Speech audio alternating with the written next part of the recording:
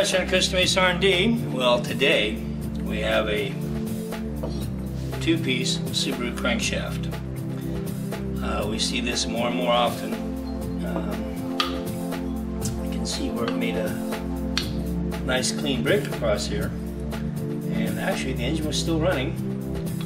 I shut it off, making a lot of noise, but it was still running. Um, we find this happens a lot at the lower RPMs. Certain throttle response uh, or throttle position, uh, certain uh, throttle locations, uh, depending on how fast you're going, can cause uh, this to happen. let's say you're in traffic and you've got um, got to slow down, maybe around you know 1500, 1800 RPM, and you want to accelerate really quickly, and you mash on the pedal, well, guess what? This is what happens. These uh, crankshafts tend to uh, twist, and when they do, they break.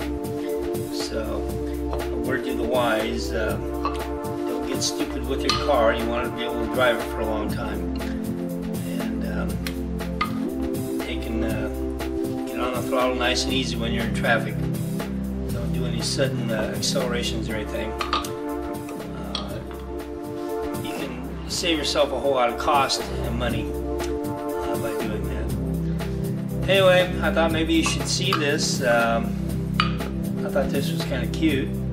You see this, like I say, a lot in here. These guys uh, get the wrong tune-up on their car or whatever. I mean, you can do more damage with a, a damn computer to the engine than you can uh, with your right foot. So uh, do conservative tune-ups on your car. Don't mash on the pedal when you're at mid throttle. Um, just, you know, take it easy out there. Anyway, John Costa Mesa R&D. We'll see you soon.